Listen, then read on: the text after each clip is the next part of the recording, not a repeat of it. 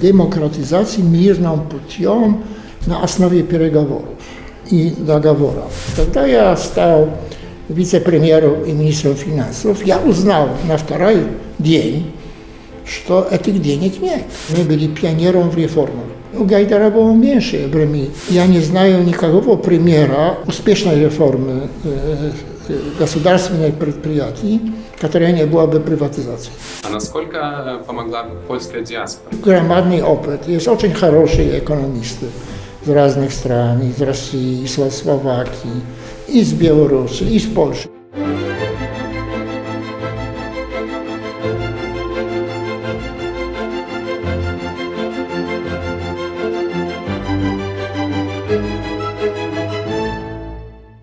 Добрый день, меня зовут Алиса Лихнович, я экономист, вице-президент аналитического центра КАИС Беларусь.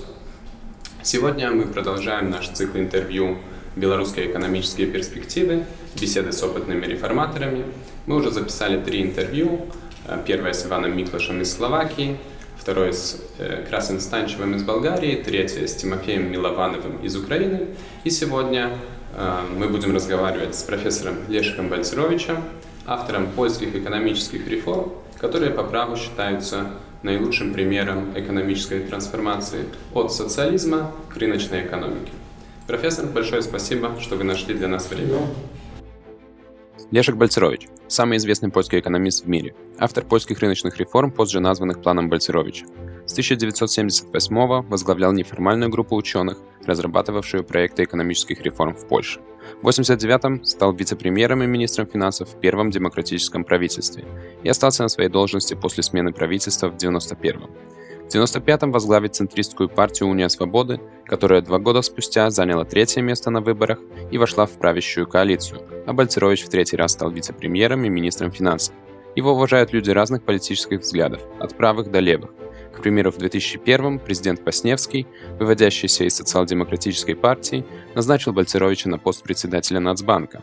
В 2008 стал председателем Совета Брёйгель, лучшего исследовательского центра в Европе. Сегодня Бальцерович работает профессором в Варшавской школе экономики. Перейду сразу к делу. Мой первый вопрос. Эм, многие считают, что э, первое демократическое правительство – это всегда своего рода команда камикадзе – Люди, которые приходят в сложной политической, а зачастую и экономической ситуации, эм, которые, на которых большая ответственность, большие ожидания общественности. И вот мой вопрос, насколько вы согласны с таким убеждением, эм, и как вы себя помните в 1989 году? No, качество команды очень важное в каждой важной задаче, но особенно если экономическая, экономическая обстановка катастрофическая, с одной стороны, а с другой стороны свобода для общества, чтобы делать то, что было невозможным прежде. Я бы, также я, когда меня попросили, чтобы взял на себя это обязательство, ekonomicznej transformacji w Polsce. K szczęściu to u mnie było takie gobby. Ja interesował się radykalnymi reformami w różnych stronach. Już zaczynając od 1978 roku i создал первую команду, taką nieformalną grupę, która pracowała nad różnymi problemami. I my продолжали to w 80-te годы, nie надеясь, nie było mnogo надежды На то, что будет открытие в Польше. Но это создалось, и, к счастью, мы были готовы. Не во всем, не все, во всех подробностях, но если идет о, о стратегию, речь идет о стратегии, мы были, я думаю, готовы. Я бы, может, добавил, что в Польше мы начали в 1989 году трансформацию, Jeśli речь идет о политической трансформации, то она началась очень интересным способом.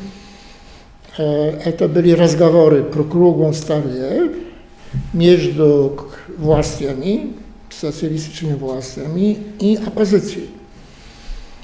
И они привели к тому, что было политическое открытие, потом демократизация мирным путем. Мне кажется, что это очень важно. И это было тоже создано Позже, w takich странах, jak bywsza Czechosłowakia или Венгрия, Венгрия, этот путь к демократизации мирным путем на основе переговоров и договора. Это открыло путь радикальной э, стабилизации и э, трансформации. И я бы сказал, что политическая обстановка в Польше в 80 году была намного лучше, чем, чем теперь в Беларуси. Но я надеюсь, что политическая обстановка учится. А если речь идет о экономической ситуации, тогда в Польше было намного хуже. Это надо, потому что, во-первых, у нас была гиперинфляция. То есть э, цены росли э, каждый месяц. В другой половине 1989 года 20%, 30%. Это была катастрофа, потому что прежнее правительство начало быстро перечислять деньги, не, было, не хватало налогов, продукция падала, ну и оттуда взялась гиперинфляция. Но тоже были неприятные, неприятные сюрпризы. Было хорошо, что мы шли к демократии, установили демократию, но экономическая обстановка, она включала неприятные сюрпризы тоже, кроме того, что было видно, это, это гиперинфляции. В Польше было возможным для людей, чтобы держать их девизы в государственных банках. И они это делали. Когда я стал вице-премьером и министром финансов, я узнал на второй день, что этих денег нет. Этих денег, долларов и так далее нет, потому что прежнее правительство, оно это использовало на импорт. Но мы не могли сказать людям, что ваши деньги пропали. Мы это не могли сказать. К счастью, благодаря реформам, экспорт в западные страны начал расти очень быстрыми темпами и могли накопить резервы, чтобы сделать компенсацию, чтобы люди не потеряли. Но я помню, как это, это был шок. Шок.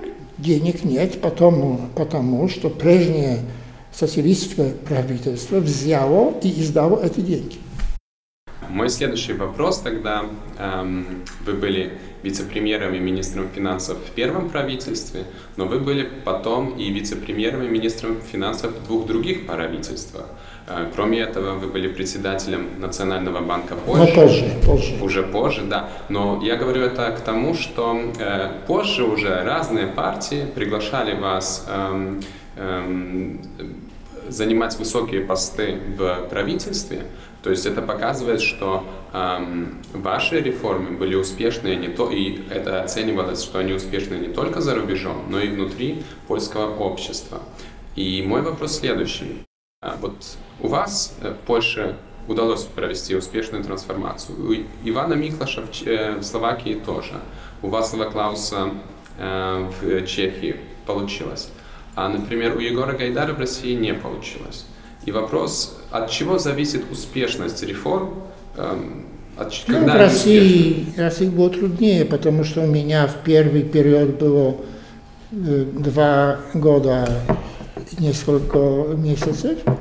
И это можно сделать много, если есть хорошая команда.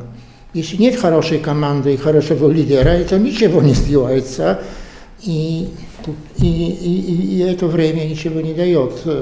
Это во-первых. Как я был в России было хуже для реформаторов. Они пришли, мне кажется, похожим путем, что в Польше. Мы принимали в Польше как пионеры наших русских коллег, но он, он, у Гайдара было меньше времени. Путь был правилен, но меньше времени. Это мой ответ на, на ваш вопрос. Если речь идет о том, что я делал в польских правительстве, я сперва был приглашен, потому что оказалось, что не было никого, кто бы сделал команду при социализме, потом, потому и, и это оказалось полезным, хотя, как я сказал, я не ожидал, что при моей жизни Polska stanie demokratyczna, swobodna i ryneczna ekonomika. To ja nie ожидал. какой-то вывод, надо, надо подготовиться к таким возможностям, которые открываются. Ну и это был первый период. А потом, в 1995 году я был избран председателем партии, которая о рыночном и демократическом направлении.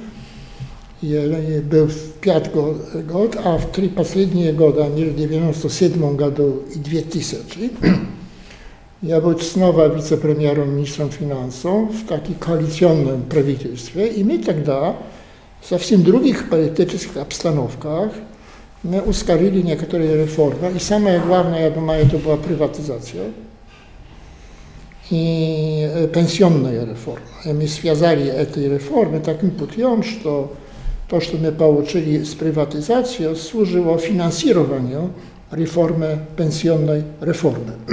Кстати говоря, много говорится насчет реформы государственных предприятий.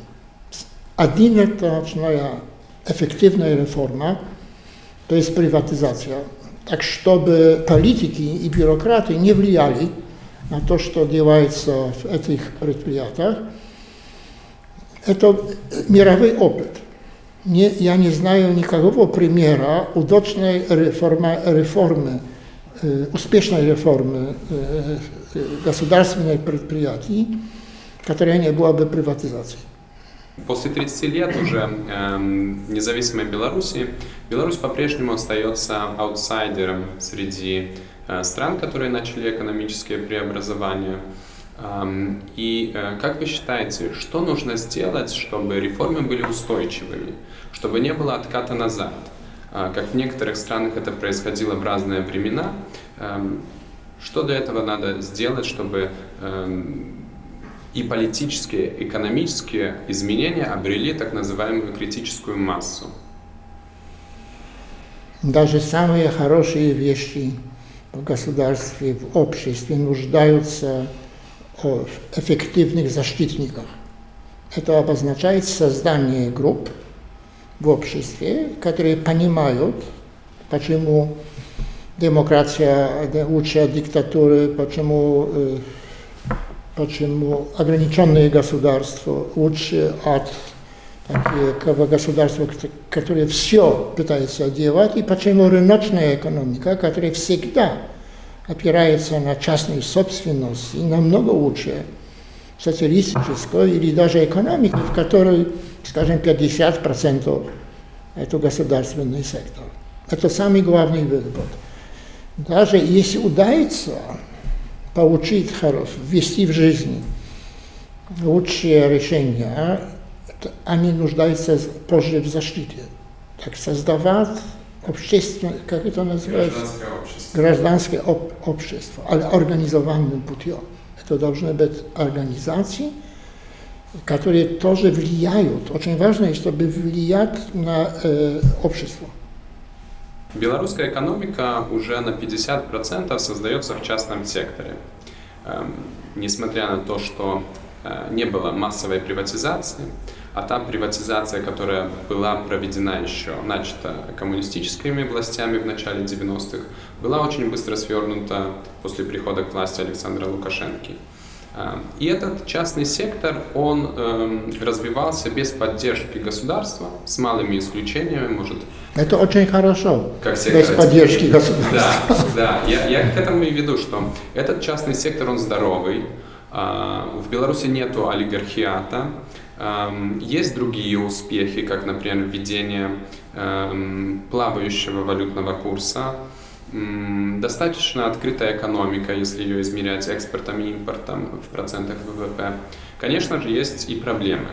Это большой и неэффективный государственный сектор, это дорогой государственный долг, это старение населения, Э, это тоже зависимость э, финансовая, энергетическая, эм, торговая от одного партнера.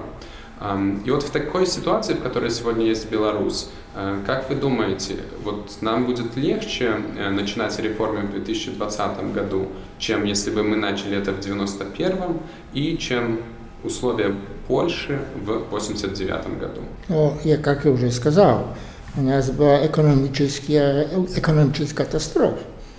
В 1989 году, потом, повторяю, была гиперинфляция. Нет было дивизионных э, средств, и э, производство падало. Так что, на, наверное, намного легче. Но все зависит от программы. И мне кажется, я, конечно, не эксперт по подробностям э, э, в Беларуси, но есть такие общие, так как в медицине. Если есть туберкулезис, тогда самая лучшая терапия, она похожа. И для китайца, и для поляка, и для белоруса. Так что надо смотреть на опыт. И опыт показывает, что если есть проблема, фискальная проблема, значит, государственный долг растет быстрыми темпами. Это, во-первых, очень важно, чтобы продукция не падала, потому что этот вес будет, релятивный вес будет даже растет. Так что то, что... А во-вторых, надо посмотреть на, на, на издержки. Я не рекомендую повышение налогов, это в крайней, но на издержки. Так что стабилизация. Очень важно, чтобы хранить стабильность, чтобы стабильность финансовой системы банков была продолжена. Но надо смотреть, что если нет доверия э, властям и тоже в банках, но там, э, тогда есть риск э, таких спонтанных поведений э, со стороны общества, а даже хуже, как в Польше в 1989 году оказалось, как я уже сказал, что денег не было, потому что правительство оно употребило эти деньги. Так, я бы думал, что самое главное не в том, чтобы Самая трудность не состоит в том, что очень трудно или не, даже невозможно сказать, что надо делать. Потому что есть громадный опыт, есть очень хорошие экономисты из разных стран, из России, из Словакии, из Беларуси, из Польши. Самое главное, это чтобы было политически возможно ввести в жизнь хорошую программу. Да, это, кстати, э, есть такая метафора, что вот мы уже 26 лет идем по одну сторону улицы, и каждый раз останавливаемся на светофоре, глядим, там красный свет, и не переходим на вторую сторону улицы, идем дальше. Но рано или поздно мы все равно должны ее перейти. А, и Беларусь а, не может быть исключением. То есть нет другого выхода, чем все равно а, увеличивать эффективность экономики, путем увеличения частного сектора в экономике. То есть это э, белорусы понимают. Эм, и тут э, я соединю, может, еще два вопроса. Мы уже начали про приватизацию говорить. Эм, и часть людей думает, боится, может быть, каких-то есть мифы, стереотипы, что каким образом можно, с одной стороны, заниматься приватизацией, а со второй стороны, не допустить до появления олигархов э, Это возможно. в Беларуси? Я знаю, что выражение приватизация вызывает э, эмоции. Но надо это назвать выключением политики экономики. И включая в то, конечно, предприятия. Есть очень большой, э, плохой опыт везде, что если политика доминирует экономике и в предприятиях, тогда нет экономического расчета, есть политический расчет. Что это, оказывается, ведет в растущим потерям неэффективности и страдает общество. Нет никакой успешной соцстраны. Помните, все страны это была государственная собственность. Что осталось? Северная Корея. Катастрофа. Куба.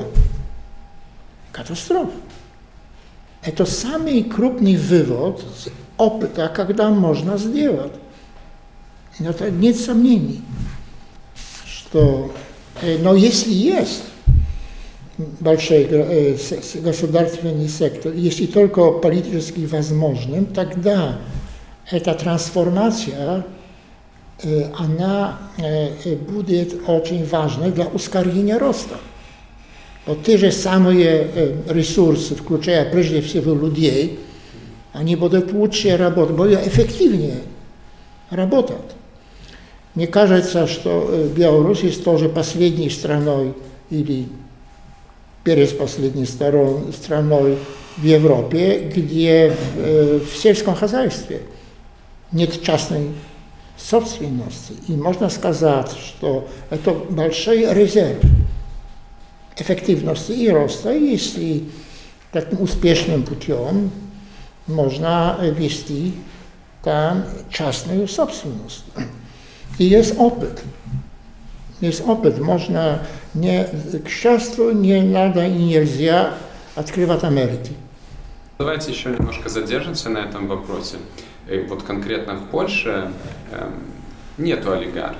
То есть в Польше удалось провести реформы и не создать сильных группов интересов, которые бы блокировали реформы. Этого не удалось сделать на Украине или в России. Связано ли это, может быть, с темпами проведения реформ, может быть, не знаю, с реформами э, судовой системы, политическими изменениями или, может, изнутри вот общества? Я вам скажу, с самого начала для меня и моих коллег, и для государств, в которых я был членом, было абсолютно ясным, что надо создать то же самые шансы для разных людей, как предпринимателей, никаких привилегий и э, конкуренция. С самого начала мы ввели такие решения, чтобы было много конкуренции внутри и за границей. И нет привилегий.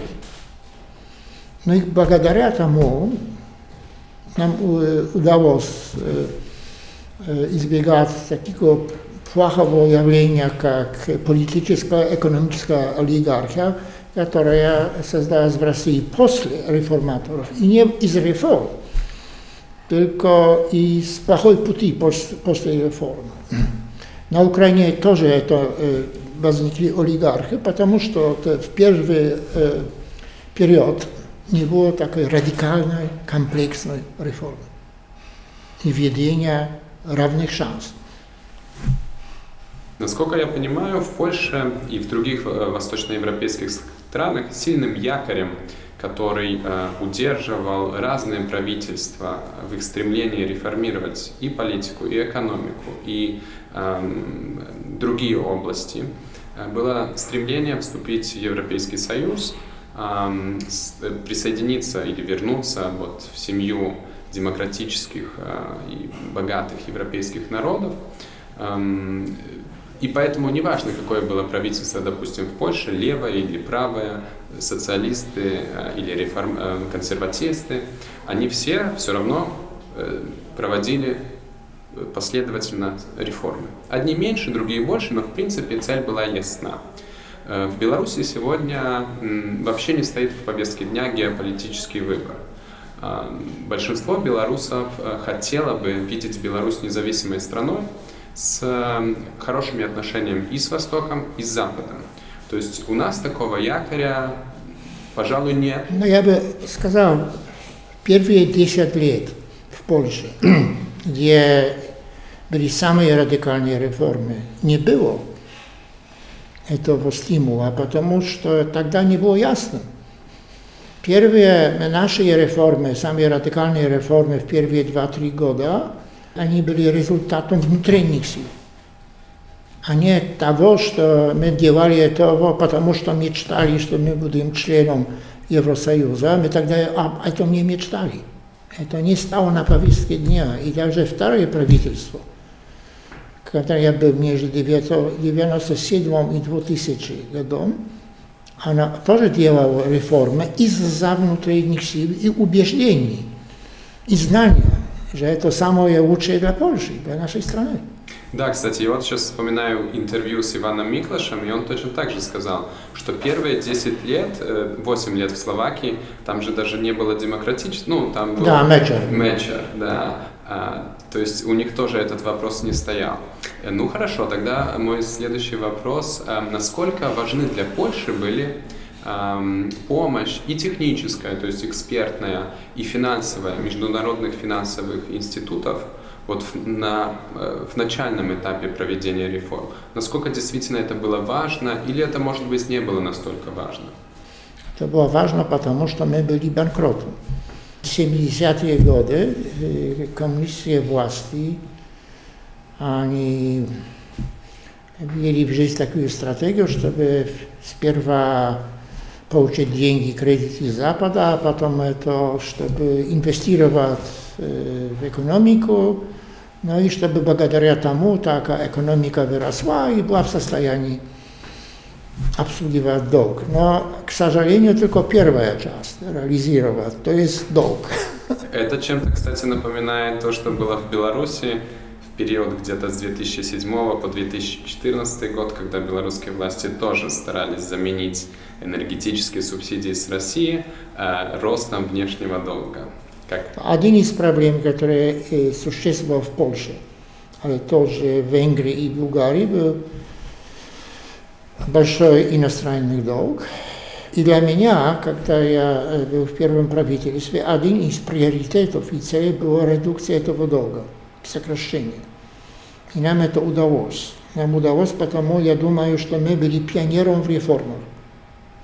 Я никогда, когда я разговаривал с моими коллегами из Запада, не говорил, дайте нам долг, потому что мы так страдали от социализма. Я знал, что это было неэффективно. Я говорил, мы делаем в нашем собственном интересе радикальные реформы, но чтобы удержать э, поддержку в этим реформам, мы должны сказать людей, что эти эффекты реформ не пойдут большим западным э, кредиторам. И этот аргумент оказался эффективным, но прежде всего мы получили редукцию долга, западного долга, иностранного долга на 50%, потому что оказались радикальным реформатором. Я знаю, потому что я вел много-много разговоров на этот счет, на эту тему. Но если мы уже э, поняли, что международные финансовые институты помогали в начале, а насколько э, дополнительные... Помогали э, за, западные правительства, потому что у нас самый большой долг был к западным правительствам. А иностранные институты были важные, потому что, например, Международный фонд, потому что их акцептация была важная для э, нашего доступа в международных рынках – но я бы сказал, что большинство программы было создано в Польше, благодаря тому, что мы работали как хоббисты. А, а насколько помогла польская диаспора? Э, и финансово, и как, человек, э, как человеческий потенциал. Я знаю, что, например, эм, уже в 1989 году часть э, поляков возвращалась в Польшу, например, профессор Станислав Гамулка, который позже стал советником польского правительства и, насколько я знаю, присоединился к вашей команде экономической. Вот насколько диаспора... Я был в связи с хорошими экономистами польского происхождения, даже 70-е и 80-е годы. И у меня, у моей команды была такая стратегия, что мы старались, чтобы привлечь в Польшу экспертов. Это человеческий капитал. И, и, и, и нам удалось. Это не было так громадное явление, но важное, потому что, потому что э, на, в некоторых случаях не было, на, например, как как создавать банковский надзор. Но мы пригласили Поляка или английца польского происхождения. Но в Беларуси есть много людей, которые хороший, хороший опыт. С точки зрения у вас, если только будет политическая возможность радикальной реформы, будет легче. А тогда что вы посоветуете людям из диаспоры? Потому что к нам сейчас уже обращаются люди, которые хотят, готовы помочь и как бы интеллектуально, финансово, которые а, сплочаются за границей, за рубежом, создают белорусскую э, общину. Во-первых, солидарность. То есть помогать людей, которые есть в трудностях, подлежат репрессиям и так далее, и так далее. Очень важно. Во-вторых, готовить программу когда так, чтобы, если, я надеюсь, будет политическое открытие, будет политическая возможность, чтобы быть готовым вести в жизни программу, которая будет работать. Спасибо большое. И последний уже вопрос, наверное, короткий. Если у вас есть, может быть, какие-нибудь рекомендации для белорусского общества, академического э, сообщества, может быть, для государственных чиновников, что бы вы хотели им или пожелать, или посоветовать? Ну, я старался сказать прежде, могу повторить, солидарность, которая обозначит хорошую организацию. Очень важная организация, организованная солидарность. Во-вторых, готовиться на хороший сценарий. Бороться за хороший сценарий мировым путем и быть готовым на то, что когда этот сценарий будет можно реализовать. Спасибо большое за ваши советы, за ваши знания, за опыт, за ваше время. И вам большое спасибо, что вы нас слушали.